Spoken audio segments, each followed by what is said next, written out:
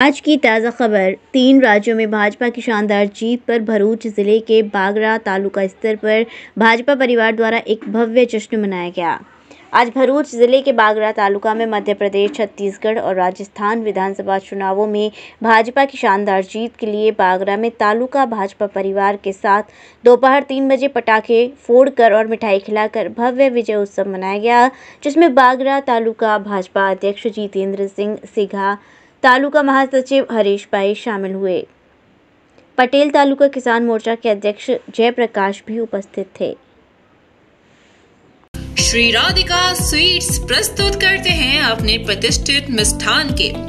पाँच अलग अलग प्रतिष्ठान, जिनमें मिलती है गुणवत्ता पूर्ण शुद्ध देसी घी से निर्मित मिठाइयाँ और मिलता है शुद्धता का विश्वास। तो आइए राधिका स्वीट्स पर और लीजिए शुद्ध देसी घी से निर्मित मिठाइयाँ। हमारे प्रमुख प्रतिष्ठान है राधिका स्वीट्स, माँ वैष्णो देवी मंदिर के समीप छठी कला राधिका स्वीट्स रेलवे पुल के पास कोसी कला राधिका स्वीट्स मंडी समिति के सामने सौंख रोड मथुरा, राधिका स्वीट्स धौली प्याऊ मथुरा और राधिका स्वीट्स श्री कृष्ण जन्म स्थान के पास पोथरा कुंड मथुरा।